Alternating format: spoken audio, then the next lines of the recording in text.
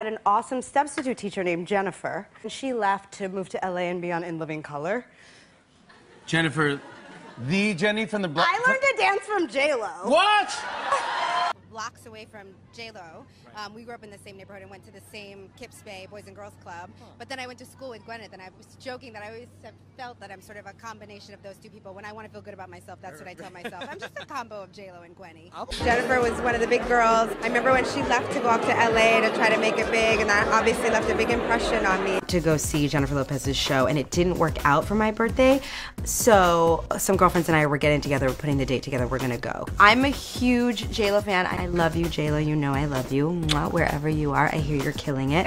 Um, so I'm getting all the girls together, and we're gonna go see you. It's gonna be spectacular. Sunshine